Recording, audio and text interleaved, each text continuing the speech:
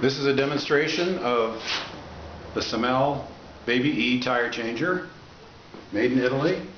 Taking a tire off and then putting a tire back on a 5-inch racing go-kart wheel. First you have to break the bead. There's the bead breaker.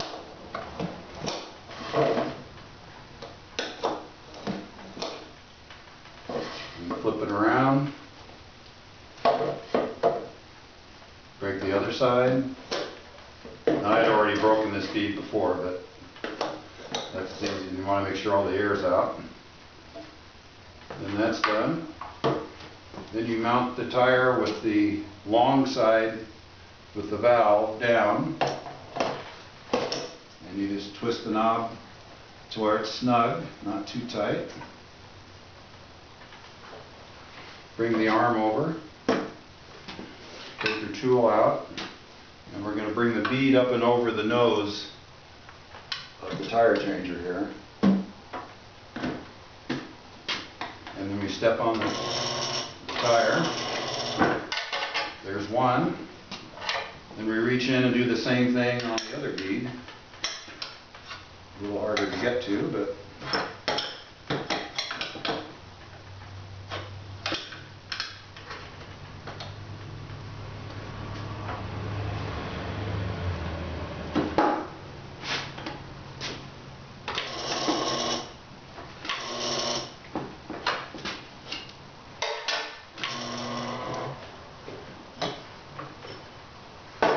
Now the tire's off the wheel. Now we're going to put the tire back on. And usually when it's like this, you can just kind of push it back on to get the, the bottom bead started. Then bring your arm over.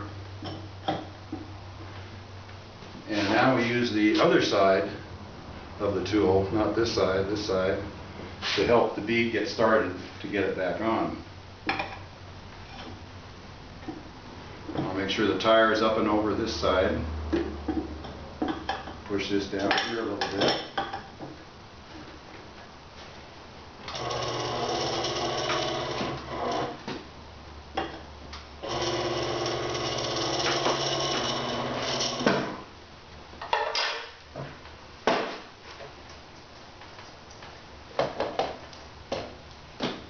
Uh, fill it with air.